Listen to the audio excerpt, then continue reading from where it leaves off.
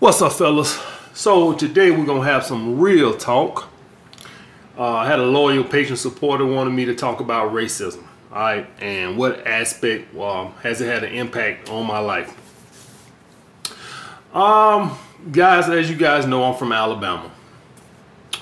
Probably the biggest. Well, I don't know. I think Mississippi might be the most racist, right? Alabama right there, close second behind. I think Mississippi Cause uh, in Mississippi they still do the little rebel flag, and and you know, and I, and I ain't gonna say Alabama don't got no rebel flags, but in Mississippi it's like if I went to Mississippi one time, uh, Philadelphia, Mississippi, to go uh, to the casino, and I mean it's just everywhere. The Confederate flag is everywhere. All right, I ain't gonna sit here and act like nobody in Alabama got a Confederate flag on their car and nothing like that but you see it see it sparingly. You go to Mississippi, it's everywhere. It's all on the billboards. It's all at the gas stations. When you go to the gas stations, right there, the little the little uh, Confederate flags and shit. Just a racist ass state, and they'll say, "Oh, it's state pride." Oh, get the fuck out of here. We know what that symbolizes. You hate fucking black people. We know what that fucking means. You don't care about no goddamn state flag, and don't nobody else in the country walk around carrying a state flag with Mississippi. They love their state flag so much that they, oh, this my state flag. Goddamn motherfucker don't care about their state. Most of you motherfuckers watching this shit right now don't even know what your state flag look like. Because you, you don't really give a shit. The only thing you care about is the American flag. Mississippi and some people in Alabama seem to only be the ones that could care about the state flag. Uh, or and, and that ain't that ain't Mississippi actually state flag. That's actually a flag of the South. So when the South was separate from the Union, they had their little flag and America had their flag and the South had their little Confederate flag. That's what that shit about. So they letting you know, motherfucker, we was down with that Confederate bullshit. But anyway, getting past that shit, guys.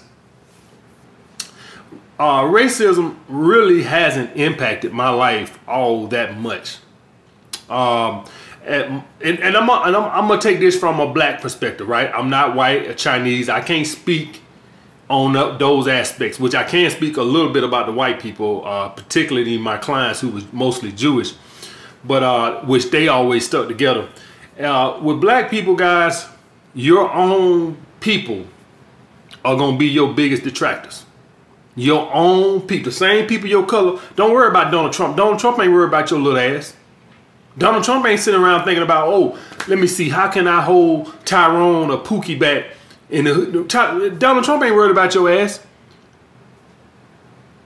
The, the dude around the corner, he is the dude in the same dude in your in your in your area. Yeah, Willie, little Willie around the street. Yeah, he gonna hold you back. He gonna do more harm to you than Donald Trump would ever do. I'm gonna tell you that shit right now. All right, your own kind. I've seen more profiling and more my own kind has tried to pull me down more than any Republican, Donald Trump combined. Okay, guys? I'm to let you know that shit right off the bat. Listen, I was living in Harlem. Okay? I'm, and I'm speaking from the pro profiling aspect right now. I'm living in Harlem. And I worked in Manhattan. Okay? When I walk in Harlem, black people will stop and let me pass faster than the white people in Manhattan would. So your own kind, if you're watching this right now, you're a young black male, your own kind is going to profile you more than white people. When I'm in Harlem, they will literally, I'm walking behind, like, you know, just a normal person walking behind them, they'll stop and let you pass, like you finna mug them or something, like you finna rob them. Then me walking in Manhattan behind white people, you will get more profile from your own kind. You're gonna get you're gonna as far as your career trajectory, your own people are gonna try to pull you down more than fucking the white man is. I'm gonna tell you that shit right now. If you once you guys start exhibiting some success, you better get the hell out the hood. I'm gonna tell you that shit right now. As soon as you get a new car, start dressing a little better, you better get the hell up out of there. Because if you stay there, some hater is probably going to put a bullet in your fucking head. I am telling you that shit right now. Black people have the biggest crab in a barrel mentality that I've ever seen. Now, if you're a little guy and you're doing a little something, you ain't gonna, you know, you ain't gonna really get no hate. It's when you start doing great fucking things. You start making the six figures. You you get that new Mercedes. You start dressing a little bit better. Here come the jealousy. Donald Trump ain't worried about your little ass. Mitch McConnell ain't worried about your little ass. Ain't no Republican uh, on the state capitol worried about your little ass. Pookie is. Lil Willie is. So that's the thing on that, guys. The next thing I want to talk about, guys, is when when you let, let me say this right here, guys. You can do anything you want to do. I am speaking from personal life experience. Regardless of what your background or where you coming from, if you're willing to put in the work, you can make and do whatever the fuck you want to do. Nobody, no white person, no nothing can stop you. Well, you might have to be better than some white people to get some things. Absolutely. I won't act like that shit don't exist. Of course it still exists. Just like women, women uh, get a, a, a bad hand sometimes in jobs because they got they are female. So we all know that it does exist in that. So you might have to be better. President Obama could never get away with the shit Donald Trump doing. We all know that. We if if if, if president if Obama was um, carrying on and acting like Donald Trump and talking about some, you know, my power is complete and I, you, you all know he couldn't get away with that. So I don't want to act like, you know, it, there isn't a double standard because it is a double standard. We all know that. I, I won't shit y'all guys and act like it is. What I'm telling you is you can overcome it. You might have to work a little harder, but you might have to fucking come. Uh, that type of racism and shit is never gonna go away in America. It's too deep. It's too much of a boiling pot. It's never going to go away. So stop acting like it is.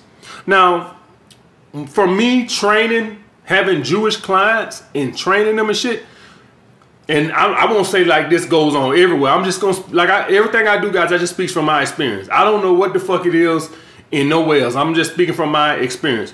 From the Jews I train, they help each other. That's how they do. They help each other. And I've tried to do that on YouTube. Y'all guys seen me shout out several other dating coaches, uh, black dating coaches, trying to help them uplift them. Because I try to be against the crabs in a barrel mentality. I try to uplift to other guys. If y'all guys seen Kevin Garnett, he bought his high school uh, friends with him. LeBron James, he bought his, he empowered them. I shouted guys out and they started making way more money. That's how it's supposed to be. But y'all guys know that's not the norm. Y'all guys know normally what a person would do is he would try to tear down the other guys. Do y'all guys understand that? But I'm not on that. I feel like it's enough to eat for everybody. And to, and to the credit, to the credit of the guys who support me, I actually started getting more Patreons helping, you know, the other guys out. When actually, I thought it might take away from my patrons because you shouting other guys out. In actuality, it helped me, which let me know that guys like that. Some of you guys actually like when they see a guy trying to help other guys out. So that I was proud of you guys for that because my patrons actually started going up when I shouted guys up, not down which was to my dismay. And the reason why I didn't care if it went up or down or whatever, I didn't really give a fuck because I'm pretty straight. So I'm not really concerned with what I lose a patron here. That that was no, I didn't, I didn't really give a shit. You know, I'm already straight. I save my money. I'm pretty frugal. I'm still doing fucking uh, these videos and t-shirts. For God, for God's sake, y'all ain't seeing me start doing these videos and Armani suits and all that other bullshit, trying to, you know, and show y'all guys, oh, I'm so successful. I, I don't give a fuck about it. I'm gonna stay doing these motherfuckers in these black tees. I ain't got nothing to prove to no fucking body. Same fucking earrings. Okay, guys. But getting back on topic, the segregation and shit in America. When I was in school, when I was in uh, high school, they would pass around these, well, junior high school, right, for, for you to go to junior. So elementary and junior high school to go to high school or middle school they will pass us, and this in Alabama, by the way. they will pass us around these papers, the M&M papers, the majority and minority papers. And basically what those papers were was was trying to show you the black schools and the white schools. So it was a, in a way it was legal segregation. That's what it, they was they couldn't make you go to a black school, but they was trying to point you in that direction. And so what they would do is they would put all the black schools on one side and then they would put all the white schools on one side. And that way you know if you go here, it's gonna be white. So they want you to keep your black ass over here in your black section. So it was in a way, y'all guys know they got done away with uh, segregation in the 60s and shit. And so a way to keep it going without saying keeping it going was they started doing the major majority and minority shit. Okay. But as y'all guys know, most of places is this the black session. This people are off to themselves. All right, white people live over here, black people live over here. Of course, you're gonna have a small amount of people that influx with the other group, but by and large, it's gonna be mostly this the black area, this the white area. All right, now I know we got um, everything um, is getting mixed together now. And uh, so I know that that is changing shit because now a lot of areas of um, white people are moving in with black people and shit like that into the black areas. But so that, but all that done it doing is raising the price and pushing black people somewhere else. So that's gonna keep going on. So it's imperative for you guys to make sure you being successful because that shit is gonna keep fucking um, going on. That's not going on well. So you guys need to make sure that you stay on your fucking purpose, right? Because now everything is getting mixed together. But getting back to my point, guys, is stop, stop this, the white man, this, the, the, that. Your own kind has more of an impact on you than any white person ever will. And you guys will just have to see that. Now, for the black people, for the white people that stereotype us, then and, and, and this goes on with us too. We profile our own type, our own kind, because you watch the news and you see Pookie and Ray Ray shooting up every fucking thing. So when you say profile by white people, well, we profile too. When I see a couple of knuckleheads walk some coming somewhere or something, I'm looking at them too. Now they might be good guys, but you profile them just because you watch the news and you see nothing but black people seem to be doing crime, uh, violent crimes. Okay, but they just had a shooting at the fucking mall, and they said it was like the third one this year or some shit. I, you know, I just got to Atlanta. I'm paying that much attention to it, and they said it's like the third shooting.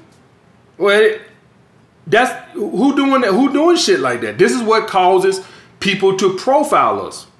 So one bad apple spoils the bunch. That's the way it goes. We over here making all these female nature videos. It's good women out there, right? It's good. It's, it's some good women out there. You got four billion women in the fucking world. You mean to tell me every one of them goddamn trash? No, it's good women out there. A few bad apples spoil the bunch. So what we walk around with now? All women are like that. When y'all know flat out goddamn real, there's 4 billion women in the world. It's got to be at least one good one. But a few bad apples spoil the fucking bunch. That's the way it fucking works, guys. So when Lil Pookie and Ray Ray shoot shit up at the mall and shit like that, this is what makes it bad for the fucking good people. I heard, um, was it Chris Rock say a long time ago, there's a war going on. We got black people and we got ends. Y'all know what the ends is, okay? And he said, the ends got to go. I try not I try not to say that fucking word. Y'all guys know every now and then I'll slip up in it when I'm hot and I'll just fucking say it. I try not to fucking say it uh, because I don't want the young guys over here fucking they they if I say it they gonna be saying it. So I try not to fucking say it. But uh, the ends have to go. So we get lumped in. The good hardworking blacks get lumped in with the ends. That's the way it fucking works. And we do it too. If you're a good hardworking guy on your fucking purpose and shit like this here, and you at a fucking party and you see a couple knuckleheads gonna come in, come in, you gonna start profiling their ass too. You gonna have your eyes right on them. Why? Because you just saw some little knuckleheads at the fucking mall. Now, that's not the excuse profiling. I'm just letting you know why it exists. The same way we profile women. Y'all got these awards thing. That's the same thing. So you pretty much lump every fucking woman the same way other races will lump all fucking blacks. That's just the way it is. So the thing is, the, the, the point of me saying all that, guys, is that's always going to exist because we always going to have fucking knuckleheads. So that means that you going to continue having to work harder to be better because of those knuckleheads. So even when the knuckleheads aren't even trying to cause harm to you, they still causing harm to you. Even when they not pulling the gun, they still bringing harm your fucking way. Because now they cause you to get stereotyped. All right, guys. So that's my point on racism, guys. Can't nobody hold you down but you and your own kind. You got to work 10 times as fucking hard. It don't fucking matter. The only person that's really holding you back is you. Even Pookie and Ray Ray ain't doing it. They can hate and they can cause you to get uh, stereotype and profile. But at the end of the day, it's on you. Okay, guys? So that's that's my thoughts on racism, guys. Yes, it's it's, it's always gonna be the America. America got too much fucking hatred in it, but at the end of the day, it is what it is. Stay on your fucking purpose, and you can overcome it, guys. All right, all right, guys. I'll get back with you guys.